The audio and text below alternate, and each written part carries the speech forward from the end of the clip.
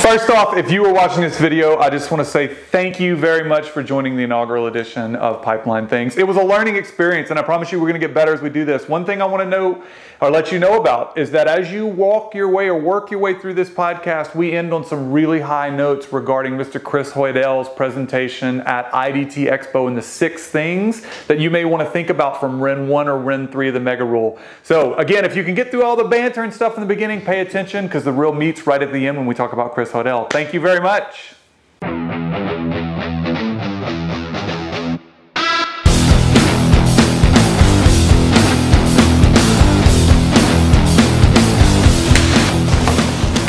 Thought we the It's okay. All right, it's all right. It's all right. Shout out to the people that noticed that we missed it. All right, good afternoon. Welcome to today's edition of Pipeline Things.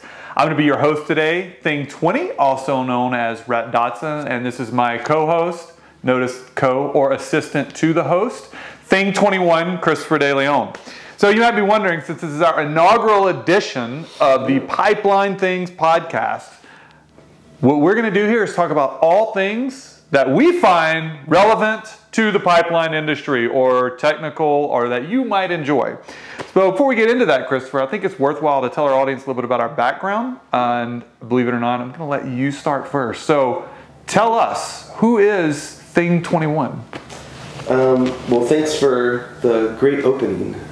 Christopher De Leon. That didn't feel sincere. I want you to know it- that. It's because it's about what's here, okay. right? Not what's here. It's what's here. That's what's here. I'm going to write that down. That's for today. It's what's here. Right? You got you got to love what you do, guys. Passion, right? And so we have a passion for pipelines. Um, we want to keep them round, sound, and in the ground. Hashtag. Um, well, who am I? Uh, Christopher De Leon, born and raised Houston, Texas. Uh, uh, went to the University of Houston, graduated with a bachelor's degree in electrical engineering. Uh, started off with energy transfer as a pipeline integrity engineer. Then worked with Rosen uh, on the ILI side and also integrity engineering. And now, thankfully, with uh, ADV. Really excited about the things we're doing here, all the pipeline things, and uh, looking forward to see what we're able to accomplish with this podcast. Hopefully, you guys like it. Uh, my eight-year-old daughter Gemma would say, like, click, and subscribe. Uh, whatever that functionality is on this platform, uh, we hope you guys in here find some relevant information, entertainment, and uh, you guys keep checking in. Yeah, please. That's our request. This is the inaugural episode. Come back for episode two. Please come back for episode we two. hope it will be better. We're, we're trying to figure this It out. It can only go up from here. Okay, so on that note, I am Thing 20. It is really important, Thing 20. Um, and my name is Rhett Dotson. Uh, I've got a background. I've been doing consulting work now for about 16 years, right? Started at a small consulting, consulting firm before I worked with the ILI industry for quite a while. And now I find myself here at ADV Integrity, right? So uh, in that, I like to say if it's weird, if it's strange, if it's happened to or been done to the pipeline, I've probably seen it. And that goes everything from pressure welds to wrinkle bends to dents to seam welds. What about bullets? I have seen bullets on a pipeline right away and saw a repair of bullets in a pipeline right away, right? So, I mean, that's that was a, that's a good call, but yes, I've seen bullets. Do you want to try again, or is that where you ran out? You proved your point. All right. So, uh, Christopher, what, what, what, is, what should the audience, what kind of topics do you expect that we're going to cover here? What's our goal? So a couple of things. Um, we believe that when you when you call somebody for help, you gotta have a relationship with them. So one of the things we want to try to do with this podcast is want you guys to get to know who we are, uh, what we like, what we don't like, a little bit about our personal lives, and what we're doing professionally. So this is our podcast. We hope you guys enjoy it. Uh, the second thing is it's you know once you have confidence and trust in the people that you're trying to give a phone call to, hopefully we can help. So one of the things we want to try to do is bring relevant topics to this podcast. Um, by relevant, we mean maybe time sensitive, something that may have happened in the industry, um, and or things maybe that we notice as a trend as being consultants. So um, obviously, we're always open to suggestions. If there's a topic you guys may want us to discuss, uh, you guys can always feel free to provide us with that input. So um, our goal is to do this on a regular frequency and um, do it both in video and in audio in different platforms. So hopefully you guys can choose the one you like the most and uh, keep tuning in. Gosh, you know, it just occurred to me that it would be really awesome if we kept track of every time we said the word thing or things, we'd be like ding, ding, ding, think about it, but no, I don't think that flies. But we, Mario, back, remember oh, Nintendo? that would be so. have any? Okay, so we have a marketing. Whoa, whoa, whoa, whoa! Yeah, but you can't. You're introducing off-cast people Hold like on. Miss Producer. Are you That's about to bring them in? We have we have we have marketing staff here. Okay. All right. Just just audioly, if you've ever played the original Mario, one at a time. Have you played Mario? Yes. Have you played Mario? Yes. Have you played? Yeah. Oh my God, that's fantastic. Yeah, it was really amazing awesome. because they don't know if it was the same person answering three times, and we just made it look that way. So, you know, again, going back, but Ross, we got to let the audience in on a little joke here. Okay. I I don't think most people know why it's thing 20 and thing 21. Mm, yeah, we got to set the stage there for that, right? So it's really important. Yeah.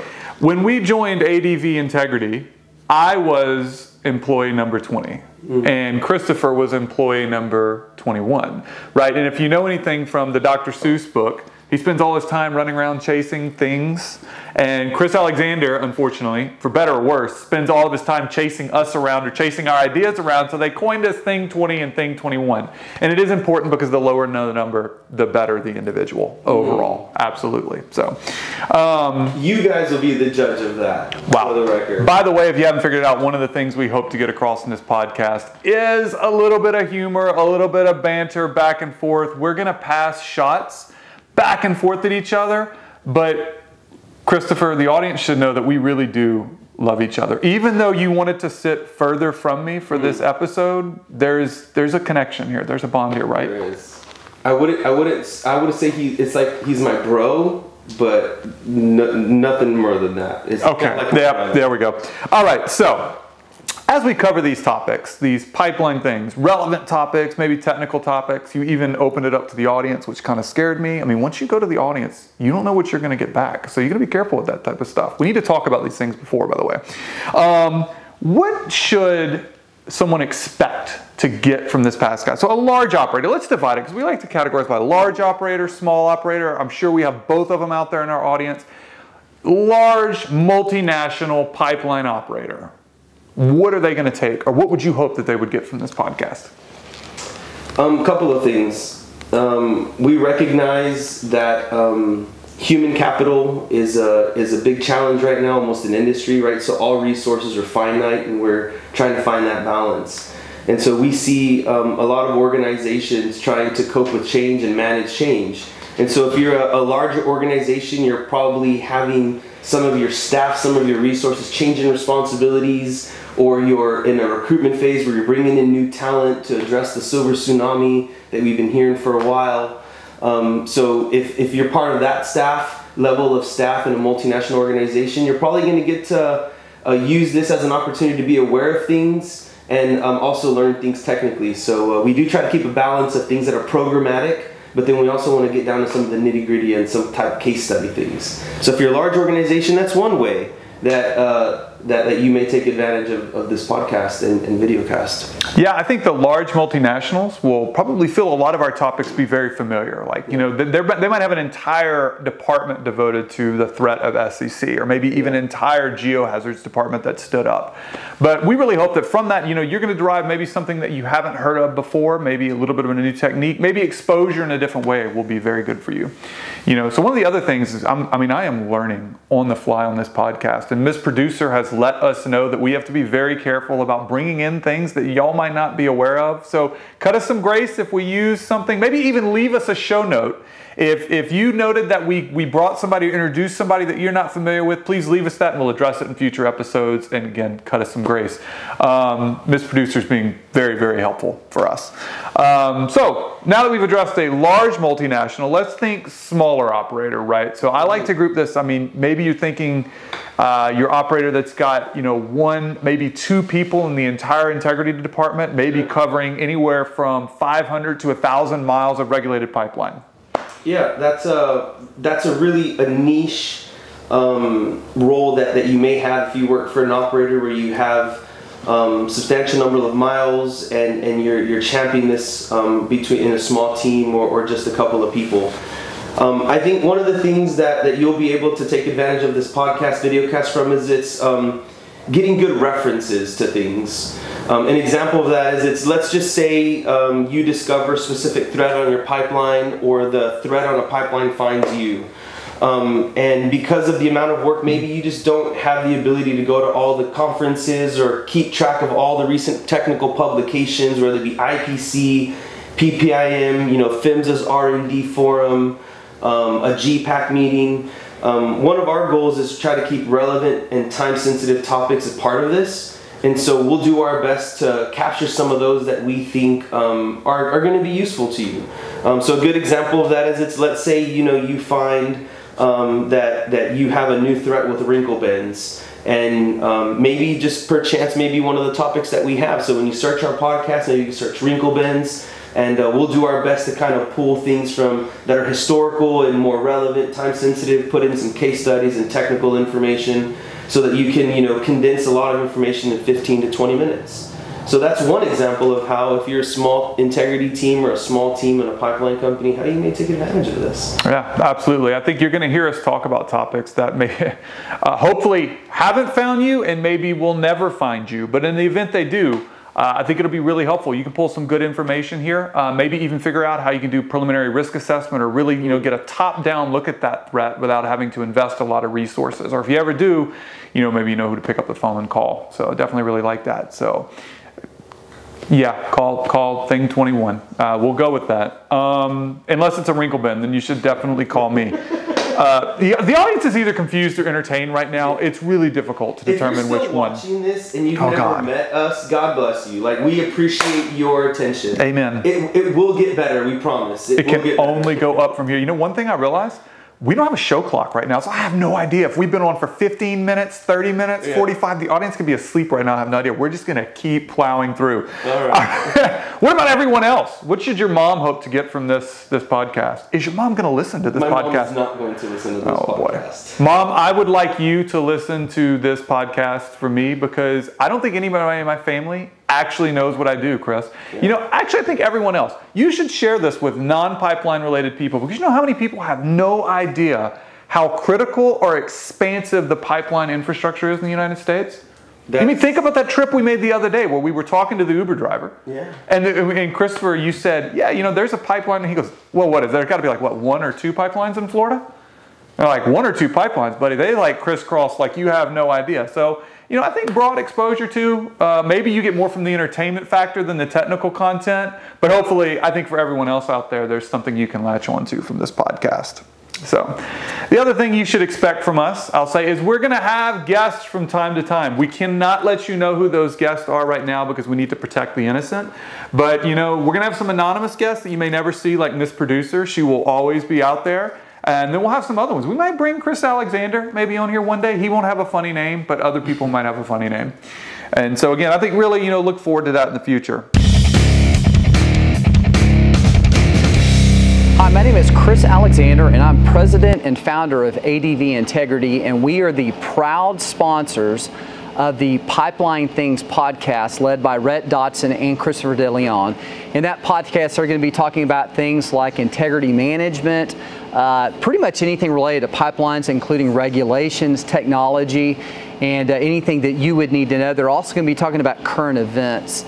Um, for those of you that don't know anything about ADV Integrity, we're a consulting company. We do uh, full-scale testing. I'm actually here in the lab and really high-end engineering to serve the pipeline industry. And we would love to hear from you and really excited about being sponsors of the Pipeline Things podcast.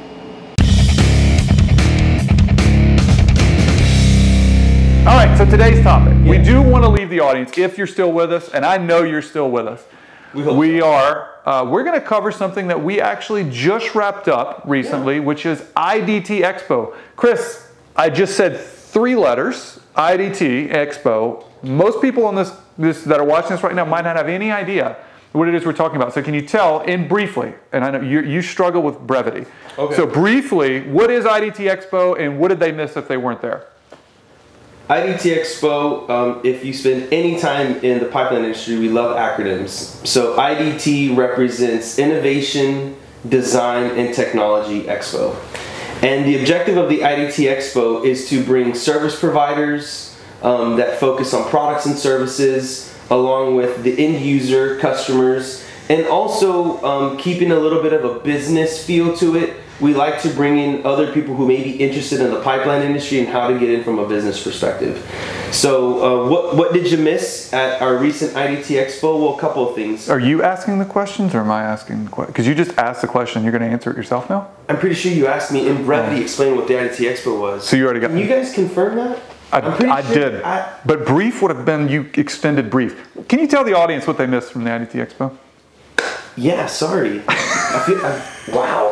Okay, so if you missed uh, IDT Expo, uh, what we what we had an opportunity to do is we, we had we had a couple speakers, and normally what we like to structure it is we'll ask for a, a guest speaker to come in and touch on each one of those three topics from their own perspective, either it be the niche business that they're in, um, their unique selling point, or uh, maybe a story or journey in how they got to where they are as an organization. And um, so for, for the I, for innovation, uh, we had Mr. Jeff Allen from Esri come in and talk about innovation and how important um, software platforms are to, uh, to begin to serve as a digital twin. You know, he kind of summarized that, you know, GIS kind of started in pipelines as a departmental tool.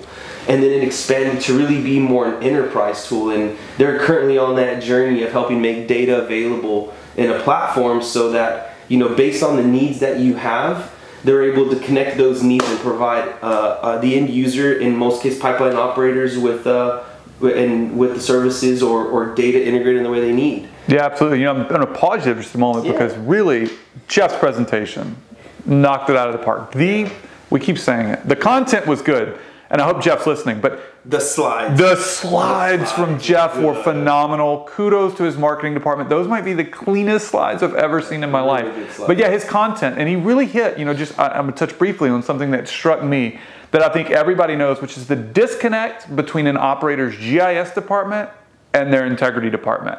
And again, we can't have time to cover everything he did there, but he really brought that to light. And I think it's something that if you're there and you have a GIS department, you probably know exactly what we're talking about right now. And our second presenter was Simon Bellemare from MMT. MMT. And uh, tell us a little bit, what, what did you take from Simon? Yeah, so he focused on the D in IDT. He focused on design, and uh, he walked us through that journey of um, how important design is, right? So when you go from a startup company um, with you know uh, seed money from different type investors, and you got a great idea, how you know at first your prototype is very functional. It focuses on um, the importance of the problem you're trying to solve. So like accuracy Yeah. right? And then he kind of took us through this journey, or MMT did. They took us through this journey through how you you you had something functional that worked, but then as you're trying to evolve it, you're trying to innovate and, and cater to the end user. You need to be careful about getting bad input.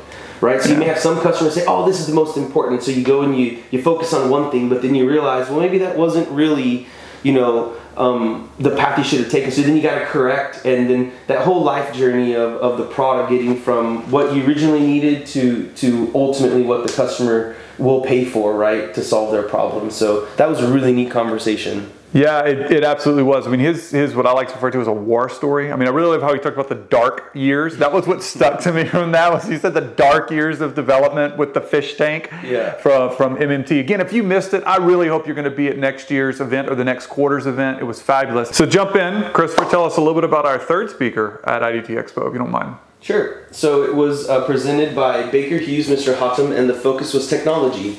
And um, what he did a really good job of is show us how um, technology has changed uh, humanity kind of across the, the timeline, right? Everything from the printing press to the wheel. And a couple of things that he highlighted, which were really neat, is um, how technology and innovation change our ability to be a society like humanity and, and our quality of life. And I thought that was really important. And I think the other thing that he talked about was um, the energy demand that we're going to have and how populations are growing, right? So us being in oil and gas, you know, focusing on pipelines, you know, we're the conduit of fuel um, to produce energy. Um, he made a really good point of saying that it's important to one understand that energy demand is only going to grow, Yes. and two, one of the really cool concepts that he brought up was this idea of collaboration, right? And so technology and the internet are really enabling collaboration. So he says the energy demand is growing faster than than what, the way we're producing energy and solving some of our problems at the rate that we're solving those. And so he suggested, you know, if we can collaborate better and figure out how to collaborate and, and leverage our IP and our resources, that we'll probably be able to end up in the end goal of serving um, serving our, our, our world with the energy demand that it needs. Yeah, so you know, again, that whole collaboration just really speaks to what IDT Expo was out about. Absolutely, you know. So again, you've heard our first three speakers now, and now I'm going to get right. The fourth speaker we had, uh, who I think a lot of our audience is going to find some uh, interest in, I will mm-hmm. say, was Mr. Chris Hoidal with Grit or PHMSA. yeah. and he gave us a little bit about RIN one and RIN three of the updated gas rule. Yeah. Uh, and so, you know, again, tell us what tell us what you brought away from that. And again, I think a lot of the audience, those yeah. large, small gas operators random are going to know about that. Listeners. For random listeners, if you don't know what the updated gas rule is, you should go read all of CFR 192. Don't so don't do that. A, couple of things. You know what, what we mentioned earlier was um, we use a lot of acronyms in, mm. in the mm. pipeline industry. So I'll, I'll, I'll, say a couple of things. So the GRIT is basically the team that PHMSA, our regulatory body under the Department of Transportation that focuses on pipeline and hazardous materials, they formed a team that's focused on rolling out the, the new gas rule that was broken up in three parts. And that team is called is acronym GRIT right? Gas Regulatory Implementation Team. And so Mr. Chris Hoidal is a part of that team. He's a senior advisor at PHMSA. Um, and so the GRIT is, is really doing a, a good job of, of creating awareness and making information available to the pipeline industry about uh, the updated gas rule. And uh, what we had the privilege of, of having him do in his, in his, I think he said this was his last presentation as a federal employee. Mm. So we wish you best Mr. Hoidal, uh, thank you for, for your service to the pipeline industry, and uh, obviously, I'm sure we'll see you around. But to his presentation, um, he focused on two topics. Part one, or RIN one, of, of the updated gas rule. Do you know what RIN stands for? I still don't know what RIN actually stands for. I gotta be honest with you, I'm not sure if I looked at we should, yet. If anybody in the audience knows what RIN means, because they keep we keep using that word, and I keep throwing. I don't know if it's actually R I N, R E N. You know what I think of though? Yeah. Ren and Stimpy. Yeah. Do you, did you ever watch the show? You have no idea what I'm talking I know about. it is, but that, that wasn't my type of humor. Yeah, sorry. I feel like that was a. Sh- I feel like that was a small, subtle shot there. Anyway, okay, uh, Ren one, Ren three. Kind of guy, you know. I, I so like I'm, I'm going to take a guess and say it's uh, something to similar to regulatory identification number. Mm, would be probably right. I guess. But I'm, somebody out there correct us, yeah, please. Correct Absolutely. Us. So, so back to so uh, he he highlighted some of the learnings from RIN one, uh, which has been out since since last year, and, and there's a couple things that that operators should have put in place and put in motion and accomplished since its um, since its um, codification. And then he also touched a little bit around uh, on RIN three, which is the the, the gas gathering rule. And um, a big takeaway from there that I wanted to share was, um, you know, over the last year or so, uh, the grit has done mock inspections. So thanks to all those operators, uh, pipeline operators that you know raised their hand when when PHMSA asked for um, pipeline operators to step forward and, and work with the grit to to go through some of these new requirements and, and understand what the FAQs, frequently asked questions, are trying to address. So uh, as a result of those five and, and ongoing um, inspections, live inspections that are happening, uh, Chris, you know, you know, was able to share some information with us at, at, the at the presentation that he gave, and he called it the Big Six compliance concerns. Yeah. By the way, you know, I'm, I'm sure whenever we do the edit of this video, as you introduce each of these Big Six compliance concerns, they're going to scroll underneath us like a 1990s newsreel. And for those of you who aren't watching the actual podcast um, and you're just listening, yeah. uh, we'll definitely have it in the show notes what these big six are. So if we talk too fast, Chris says I talk too fast, don't worry, we're gonna make sure you get the material. Wait, but I, I thought in podcasts you can change the speed so they can slow us down. Yeah, see, and I if or you're crazy, really fast. Yeah, I listen to most of mine on 1.5, but I don't know. I'm real curious what I probably sound like on 1.5. You know, so again, I grew up in Houston, so we like to slow things down. I grew up in Louisiana. I don't know what, how that's relevant to any of this, but let's get back to the Big Six here. And this isn't like Big Six Hero or Big Hero Six. This is Big Six. Let's go. You know, that's a great movie. It was a fabulous movie, it but is. our audience is probably not interested in that today. The little robots that Focus. Hero developed, that Focus. was fantastic. Focus, Big Six. Give me number one. The, the nanobots. No, Miss Producer is not going to be okay with this. Okay. So the Big Six. Uh, the first one was MAOP reconfirmation applicability. Big, big focus there. Mm. Um, obviously, I think MAOP reconfirmation is probably um, the most discussed topic of RIN 1 or Part 1 of the new gas rule. And specifically, what, what Mr. Hoidal tried to highlight was the use of previous Subpart J tests on grandfathered pipes to satisfy reconfirmation method one. Right, and this really speaks to, I think the majority of the people, if you've read the updated gas rule, and mm-hmm. particularly that section on MAOP reconfirmation, yeah. why would you need to reconfirm the MAOP of a pipeline that had a subpart J pro, hydro test was a very logical question. Yes. And so tell us a little about that. It speaks directly to grandfathered pipe. And again, I don't think we have time in this episode to get into all that, yes. but real quick, where does this concern fit for operators? So I think what's important is with anything, whenever there's new regulation, interpretation mm. is is based on um, the person that is is defending their position, and I think that's that's very valid, right? Uh, I once heard the term argumentation, and as much as we, we, we maybe don't like that root word of argue, I do think that there is a mm. component and part of our process uh, and the relationship that we have between operators and, and regulators to to ensure that there's a common understanding. And, and the way I'll answer that is it's that's what the FAQs are for. And if anything, I think what we encourage is for you to reach out to your regulators and make sure that you're you're you're having a discussion with them about your specific pipelines and your interpretation of the rule. Um, I think right now this is um, what we want to do is just highlight the importance of MAOP reconfirmation and and this whole concept of uh, when is method one satisfied or appropriate. So when you read code, typically there's a component of applicability. Like most codes start with applicability. So it's really important to understand that. And a couple of pointers are the 600 series of um, 192, which is where we're going to see um, requirements on, on operating at a specific pressure, and then also requirements in the 500 series. So those are two good pointers to look at.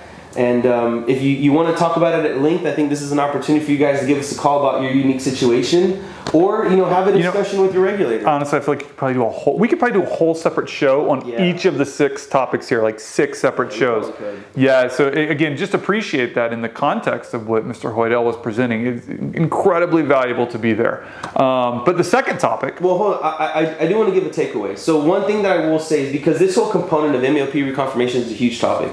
There's a lot of discussion going yes. on behind the scenes meaning um, that's not public yet. It's operators digesting this and working with PHMSA on interpretations. So if this is something that, that you're also, um, you have it written down as a to do or something to understand that's important to you, I really encourage you to start reaching out and, and trying to understand what the appropriate interpretation is. This is a big one, and I think we are going to see some some more information presented by the grit here in the near future in the form of an FAQ or something. So keep your eyes out for that. Yeah, and, and bullet point number two, this one actually did surprise yep. us both a little bit, was the discussion of non-TVC hydro tests, right? So yep. real quick, what was your takeaway from that point number two?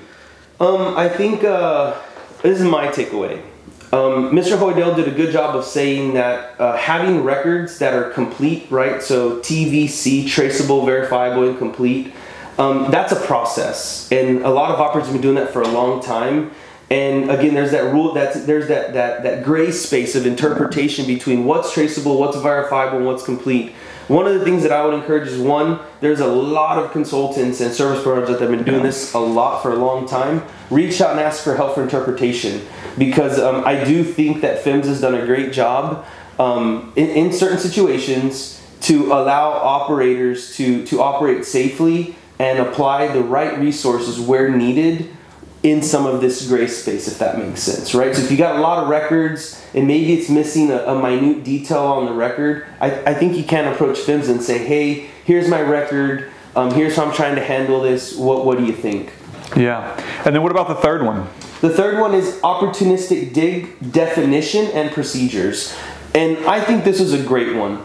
Um, basically, when you're doing material re, uh, material properties verification, which is another big part of RIN one, uh, one of the things that that the the code says in 192.607 is is that if you expose the pipe under certain circumstances, you should opportunistically verify the pipeline materials, right? Long seam, wall thickness, um, outside diameter of the pipe, OD, um, yield strength slash grade, and, and where applicable, um, fracture toughness through CVN, etc. Yeah, you know, and I feel like that conversation around opportunistic just mm-hmm. continues mm-hmm. to go back and forth, right? You know, I think with operators defining it one way and uh, maybe regulatory wanting to see it a different way. Again, I'd say that there's still lots of room to flesh that out if you haven't fleshed that out and yet. The, the big takeaway there, which I will say is again, lots of gray space there. But I think that what what what Chris there's gray space in a black and white rule. Yeah, you need to hear that. Yes, there is, but but you know what? It's not one of the six. But he did end his presentation kind of on RIN one with,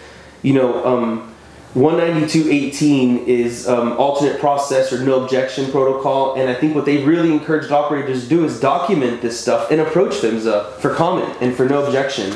So as it relates to opportunistic digs, write it down. I think again that that's point number three write it down, approach PHMSA, and, and engage in that conversation. Yeah, you know what? So I just had a, a massive revelation came to me. Yeah. There's going to be a total cliffhanger here. Episode number one is going to end on three of the six parts from the grid presentation. So if you want to know more about what Chris Hoidal said and the six big components that he talked about, you're going to have to come back for episode number two to catch the rest of that because I'm very quickly realizing that some of these are heavy and we're going to need a little more humor. Plus, Miss. Producer is telling me that this is a really good time to end our podcast. So, again, I really hope that you've enjoyed the time you spent with Thing 20 and Thing 21 today on our inaugural edition of Pipeline Things. We look forward to being back with you our next episode. And again, remember, if you enjoyed this, please like or subscribe, pass it on to your friends, to those small operators, large operators, family members. They need to know about the pipeline industry too. And we look forward to seeing you back next time. Thank you very much.